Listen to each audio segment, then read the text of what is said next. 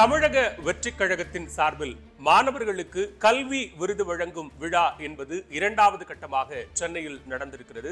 முதற்கட்ட விழாவில் தமிழக வெற்றிக் கழகத்தின் தலைவர் நடிகர் விஜய் பேசிய பேச்சு என்பது மிகப்பெரிய ஒரு பேசுபொருளாக மாறியது. அப்போ அந்த பேச்சுக்கு பிறகாக அவரிடம் எழுப்பப்பட்ட கேள்வி என்பது அஹ், பற்றி எரிந்து கொண்டிருக்கக்கூடிய நீட் விவகாரம் குறித்து ஏன் விஜய் எதுவுமே பேசவில்லை? ஏன்னா அந்த நிகழ்ச்சி நடந்து கொண்டிருக்கிற அதே நாள்ல தமிழ்நாடு சட்டமன்றத்தில் நீட் விலக்கு கோரும் தீர்மானம் என்பது நிறைவேற்றப்படுகிறது. தேசிய அளவில் நீட்டு வினாத்தாள் கசிவு தொடர்பாக பல்வேறு கைது நடவடிக்கைகள் சிபிஐ விசாரணை என பரபரத்து கொண்டிருந்த அந்த நேரத்தில் ஏன் விஜய் நீட் தொடர்பாக மாணவர்கள் மத்தியில் ஏன்னா அதில் இருக்கக்கூடிய பெரும்பாலான மாணவர்கள் நீட் தேர்வு எழுதிய மாணவர்களாக இருப்பாங்க. அவர்கள் மத்தியில் ஏன் நீட் தேர்வு தொடர்பாக எதுவுமே பேசலை அப்படிங்கிற சில விமர்சனங்கள் என்பது இருந்தது.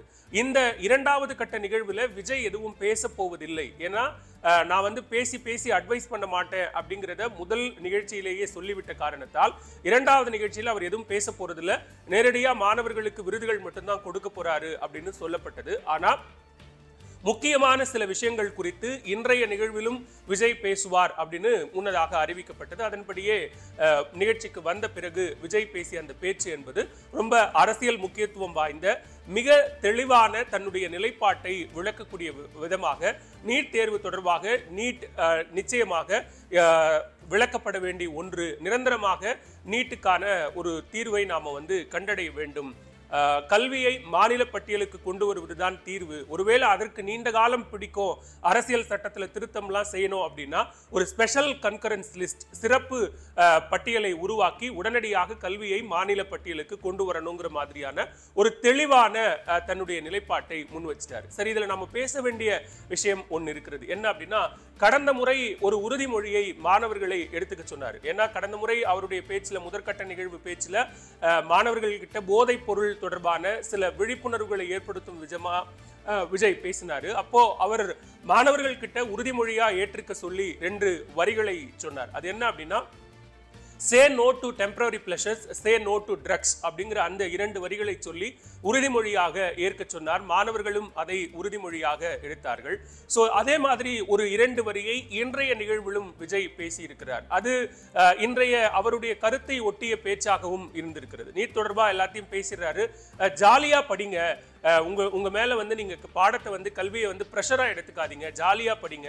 கடவுள் எல்லாருக்கும் ஏதாவது ஒரு வாய்ப்பை உருவாக்கி வைத்திருப்பார். அந்த அடிப்படையில உங்களுக்கு வாய்ப்புகள் என்பது வரும் அப்படின்னு சொல்லிட்டு அவர் சொன்ன அந்த இரண்டு வரிகள் என்ன அப்படின்னு பார்த்தோம்னா learning is fun education is celebration அப்படிங்கிற அந்த இரண்டு வரிகளை சொல்கிறார் அதாவது கற்றலை கேளிக்கையாகவும் வேடிக்கையாகவும் விளையாட்டாகவும் செய்ய வேண்டும். அதே நேரத்தில் கல்வியை கொண்டாட்டமாக கற்க வேண்டும் அப்படிங்கிறது தான் அந்த இரண்டு வரிகளினுடைய அர்த்தம். Learning is fun education is celebration அப்படிங்கிற விஷயத்தை ரொம்ப ஆழமாக பேசியிருக்கிறார். அது எங்க பேசுறாரு? அந்த இடம் தான் ரொம்ப முக்கியமான இடம். மாணவர்கள் மத்தியில் பேசியிருக்கிறாரு. எல்லாரும் பத்தாம் வகுப்பு பன்னிரெண்டாம் வகுப்புல முதல் மூன்று இடங்களை பிடித்த தமிழ்நாடு முழுக்கவும் இருந்து வந்திருந்த கிட்டத்தட்ட ஒரு பத்தொன்பது மாவட்டங்கள். தமிழக வெற்றிக் கழகத்தை பொறுத்த வரைக்கும் இருநூற்று முப்பத்தி நான்கு தொகுதி வாரியாக மாணவர்களை தேர்ந்தெடுத்து அவர்களுக்கு இந்த கல்வி விருதுகளை வழங்குறாங்க. அந்த அடிப்படையில் இந்த இரண்டாம் கட்ட நிகழ்வுல கிட்டத்தட்ட பத்தொன்பது மாவட்டத்தைச் சேர்ந்த மாணவர்கள் வந்திருக்கிறாங்க.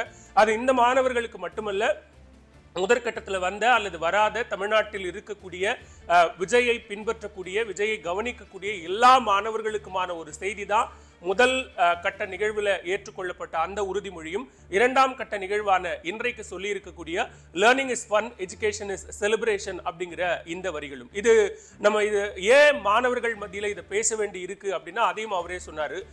ரொம்ப அழுத்தமாக மாணவர்கள் உணர்கிறார்கள். கல்வி வந்து ஒரு ஒரு பேர்டனா ஒரு ப்ரெஷராக மாணவர்களுக்கு மாறி இருக்குதா அப்படின்னா உதாரணத்துக்கு நீட் தேர்வையே அவர் சொல்றாரு. இங்க வந்து மாநில பாடத்திட்டத்தில் அவர்கள் வந்து படிச்சுட்டு என்சிஇஆர்டி மாதிரியான ஒரு பாடத்திட்டத்தில் அவர்கள் நீட் தேர்வை எழுதுகிற போது அது உண்மையிலேயே கல்வி கற்பதற்கான நோக்கத்தை அடியோடு சிதைக்கிறது அப்படிங்கிற ஒரு விஷயத்த ரொம்ப ஆழமாக ஆணித்தரமாக முன்வைத்திருக்கிறார் விஜய். ஏன்னா இது வெறும் அறிக்கை அரசியல் செய்து கொண்டிருக்கிறார். ரொம்ப ஜஸ்ட் லைக் தட் ட்ரீட் பண்ணிட்டு போயிடுறாரு. இப்படிலாம் இன்னும் ஆழமாக அவர் பேசணும் பேசணும் அப்படின்னு நிறைய கேள்விகள் விமர்சனங்கள் முன்வைக்கப்பட்ட நிலையில அதை ஏற்றுக்கொண்டு அதற்கு பதிலளிக்கும் விதமாக தன்னுடைய நிலைப்பாட்டை ஆழ பதிவு செய்திருக்கிறார். மிக முக்கியமாக மாணவர்களுக்கு சொன்ன அந்த இரண்டு வரி மெசேஜ் தான் ரொம்ப முக்கியமான ஒன்று. Learning is fun education is celebration ஜாலியாக படிங்க ஸ்ட்ரெஸ் எல்லாம் எடுத்துக்காதீங்க. இந்த உலகம் ரொம்ப பெருசு ரொம்ப ரொம்ப பெருசு.